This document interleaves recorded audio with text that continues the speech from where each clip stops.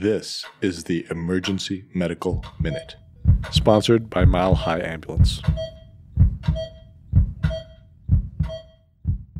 The Emergency Medical Minute is excited to announce that we are now offering AMA PRA Category 1 credits. This is accessible through our online course modules that can be accessed at www.emergencymedicalminute.org backslash CME-courses or simply by clicking on the link in our show notes and creating an account. Okay, so I thought we could talk about nitrous oxide induced vitamin B12 deficiency because this was new to me last week.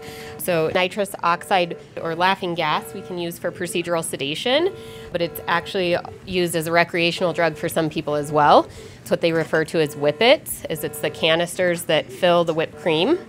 And so the nitrous oxide that is used to pressurize those whipped cream canisters, people inhale to get high on it.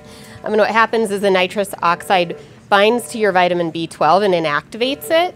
And then the vitamin B12, which acts in a process to make myelin for your nerve sheaths and axons, can no longer do that. So you get demyelination of your central and peripheral nervous system.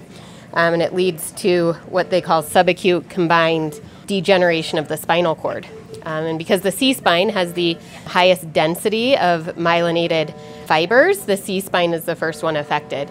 Um, so these patients can come in with paresthesias, ataxia, gait changes, and things like bilateral foot drop or lower extremity weakness because they have this demyelination of their nervous system. Your MRI can show changes within the C and T spine and your B12 levels will be low to normal. You can actually have a normal B12 level, it's just inactivated B12. Um, and so the treatment when patients are symptomatic like this is, of course, first stop using whippets, and then you have to replace their B12 with daily injections and then weekly injections and oral supplementation.